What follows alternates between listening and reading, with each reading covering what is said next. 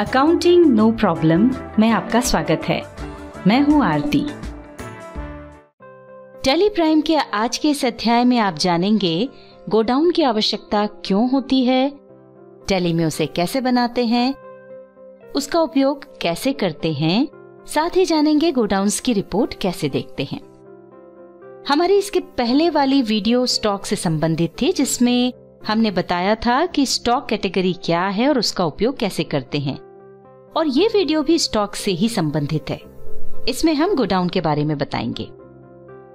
जब किसी कंपनी का व्यापार बड़ा और फैला हुआ होता है तो वो कंपनी बहुत ज़्यादा क्वांटिटी में माल को खरीदती है और बेचती है। और इस कारण से उसे माल का स्टॉक भी ज़्यादा रखना होता है। माल का स्टॉक रखने के लिए उसे अलग अलग गोडाउन की ज़रूरत होती है।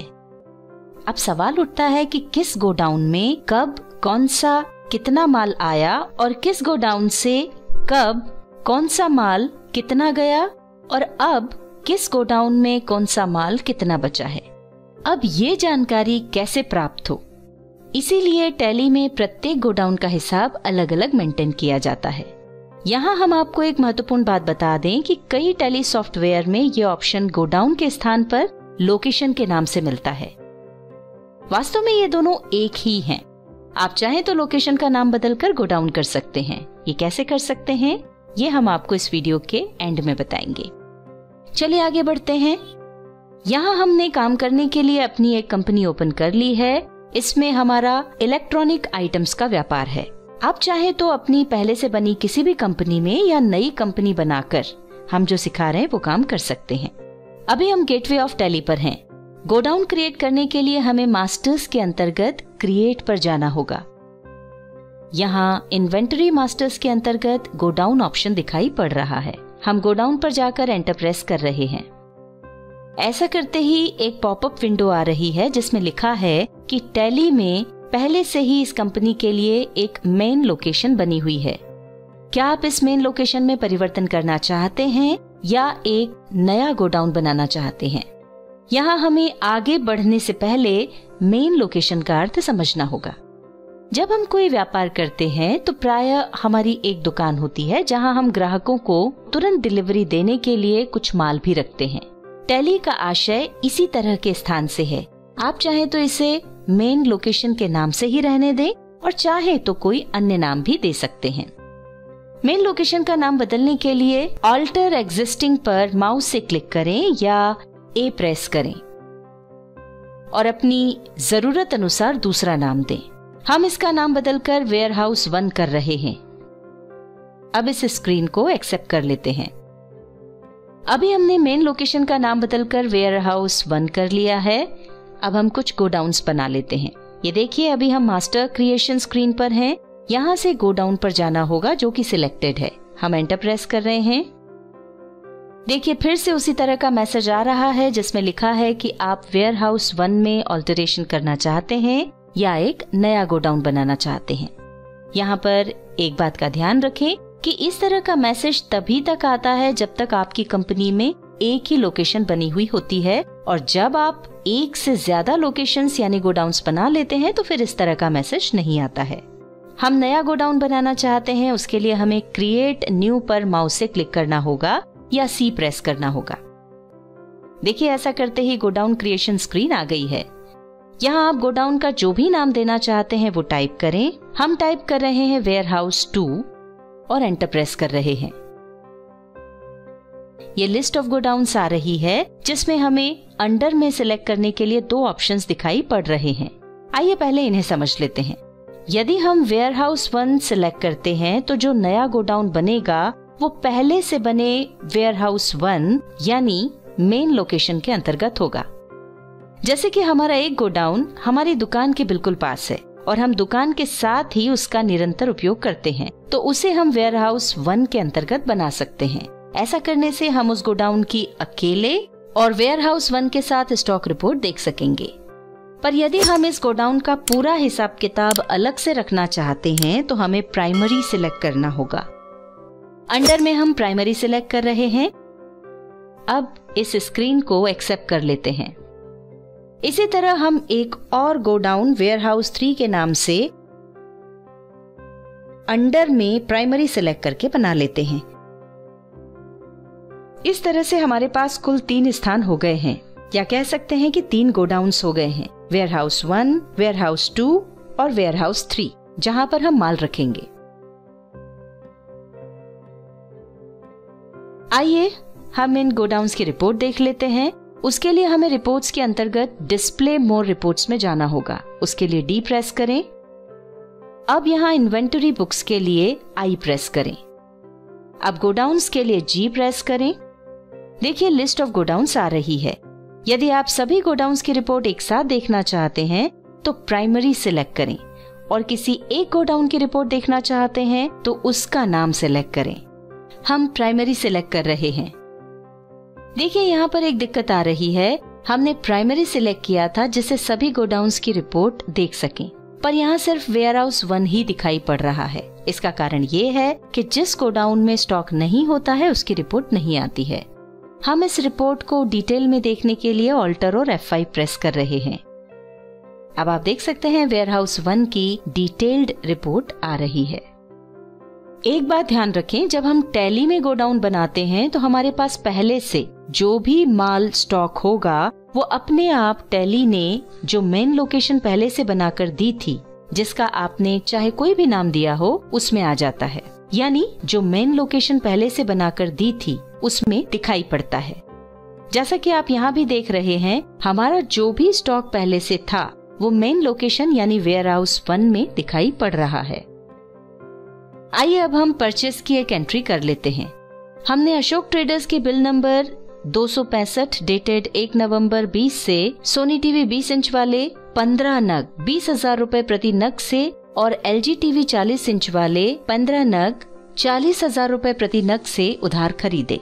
इन दोनों तरह के 15-15 टीवी में से हमने अपनी तीनों लोकेशन यानी गोडाउन्स पर पाँच पाँच टीवी रख दिए हैं।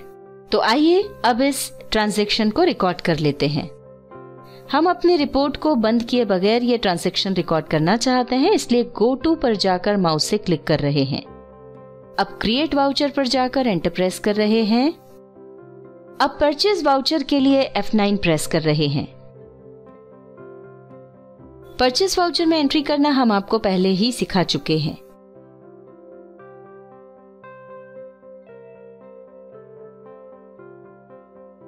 स्टॉक आइटम का नाम सेलेक्ट करते ही स्टॉक आइटम एलोकेशन स्क्रीन आ रही है और इसमें ऊपर की ओर उस आइटम का नाम दिखाई पड़ रहा है जो हमने सिलेक्ट किया था। अब हम स्पेस बार प्रेस करके गोडाउन सिलेक्ट करेंगे। देखिए यहाँ हमारे सभी गोडाउन्स के नाम आ रहे हैं। अब सिलेक्ट किए गए गोडाउन में जितनी क्वांटिटी रख रहे हैं वो टाइप करेंगे। क्वांटिटी टाइप करने के बाद हमें रेट डालना होंगे। अब एंटर प्रेस करते हुए आगे बढ़े और इसी तरह जिस गोडाउन में जो भी क्वांटिटी रख रहे हैं, वो डालते हुए आगे बढ़े।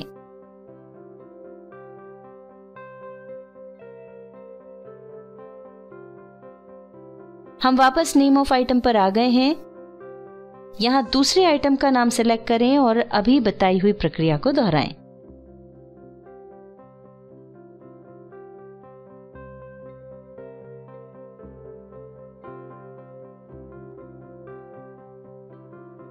अब हम इस स्क्रीन को एक्सेप्ट कर लेते हैं। चलिए, अब हम एक सेल की एंट्री कर लेते हैं। उसके लिए F8 प्रेस करें।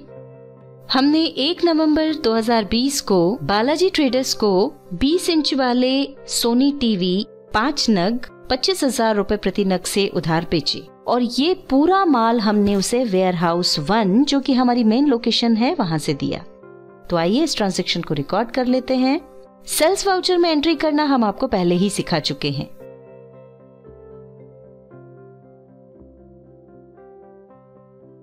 स्टॉक आइटम का नाम सिलेक्ट करते ही स्टॉक आइटम एलोकेशन स्क्रीन आ रही है और इसमें ऊपर की ओर उस आइटम का नाम दिखाई पड़ रहा है जो हमने सिलेक्ट किया था। हम स्पेस बार प्रेस कर रहे हैं।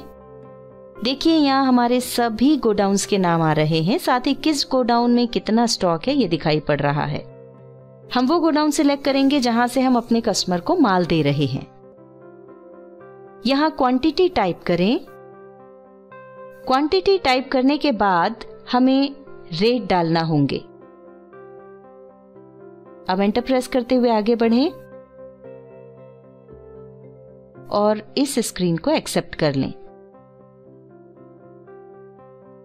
हम एस्केप की प्रेस करके वापस रिपोर्ट पर चलते हैं। यहाँ पर हम आपको एक बात बता दें कि यदि आपकी कोई रिपोर्ट पहले से ओपन है और आप कोई भी ट्रांजेक्शन रिकॉर्ड करते हैं, जैसे अभी हमने परचेज और सेल की एंट्री की तो वे ऑटोमेटिकली रिपोर्ट में अपडेट हो जाते हैं देखिए, यहाँ पर पहले सिर्फ़ वेयर हाउस वन ही दिखाई पड़ रहा था और अब जैसे ही हमने दूसरे गोडाउन्स में माल रखा, उन गोडाउन्स के नाम के साथ माल की डिटेल्स भी यहाँ दिखाई पड़ने लगी हैं। यहाँ हम सभी गोडाउन्स की पूरी डिटेल देखना चाहते हैं, इसलिए F12 प्रेस करके कुछ कॉन्फ़िगरेशन करना होगा। यहाँ show opening balance show goods inwards और शो गुड्स आउटवर्ड्स तीनों को यस करें। अब यहाँ expand all levels in detail format को यस करके इस स्क्रीन को एक्सेप्ट कर लें।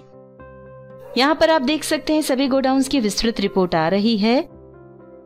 यहाँ आप जो रिपोर्ट देख रहे हैं, इनके बारे में हम आपको अपनी वीडियो नंबर 40 एंड 41 में बता चुके हैं।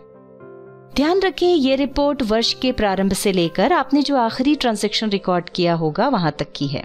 हम F4 प्रेस करके वेयर हाउस वन सिलेक्ट कर रहे हैं। ऐसा करते ही वेयर हाउस वन की पूरी रिपोर्ट आ रही है। अब हम सोनी टीवी 20 इंचेस पर जाकर एंटर प्रेस कर रहे हैं। ये देखिए सोनी टीवी 20 इंचेस की रिपोर्ट आ रही है। इसमें अभी नवंबर माह सिलेक्टेड है और हम इसी माह की रिपोर्ट देखना चाहते हैं, इसलिए हम एंटर प्रेस कर रहे हैं। देखिए, ऐसा करते ही हमने जो आइटम और गोडाउन सिलेक्ट किया था, उसकी नवंबर माह की डिटेल्स आ रही हैं। और इसमें स्पष्ट दिखाई पड़ रहा है कि वेयर हाउस वन में नवंबर माह की शुरुआत में हमारा ओपनिंग बैलेंस कितना था, हमने जो माल खरीद कर रखा था, वो कितना था जो माल बेचा वो कितना था और अब अंत में हमारे पास कितना माल शेष है। यहाँ ध्यान देने की बात यह है कि हमने अशोक ट्रेडर्स से सोनी टीवी 20 इंचेस वाले 15 नग खरीदे, जबकि यहाँ पाँच ही दिखाई पड़ रहे हैं। इसका कारण ये है कि हमने खरीदे तो 15 हैं, पर वेयर हाउस वन पर पाँच ही रखे थे। हम इस परचेज वाउचर की डिटेल देखना चाहते हैं। ये ऑलरेडी सिलेक्टेड है, हम एंटर प्रेस कर रहे हैं। देखिए, यहाँ खरीद पंद्रह की ही दिखाई दे रही है। अब हम वापस पीछे चलते हैं। यदि आप इसी स्क्रीन से किसी और आइटम और गोडाउन की रिपोर्ट देखना चाहते हैं तो F4 प्रेस करें। यहाँ बैक स्पेस प्रेस करें। अब दूसरे आइटम का नाम सेलेक्ट करें। अब यहाँ से दूसरा गोडाउन सेलेक्ट करें और एंटर प्रेस करते हुए आगे बढ़ जाएँ। देखिए, अभी जो आइटम और गोडाउन हमने सिलेक्ट किया था, उसकी नवंबर माह की रिपोर्ट आ रही है।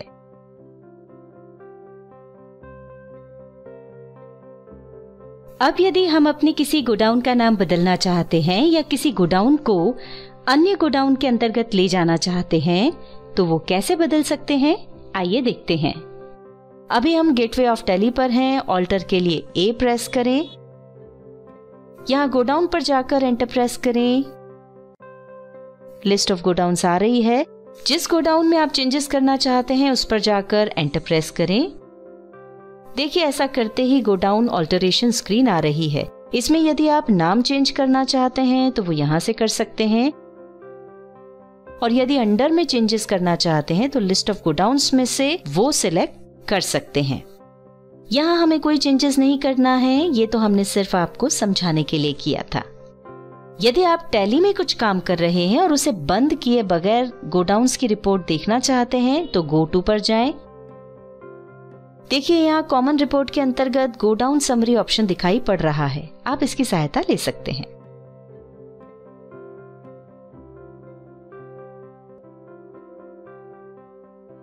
आइए अब देखते हैं कि यदि आपके टैली में गोडाउन की जगह लोकेशन ऑप्शन आ रहा है तो आप उसे कैसे बदल सकते हैं? उसके लिए गेटवे ऑफ़ टैली के स्क्रीन पर टॉप मेन्यू बार में हेल्प ऑप्शन में जाना होगा। हेल्प के लिए या तो यहाँ माउस से क्लिक करें या F1 की प्रेस करें। ऐसा करते ही एक छोटा सा मेन्यू ओपन होगा। इसमें सेटिंग्स पर जाकर एंटर प्रेस करें।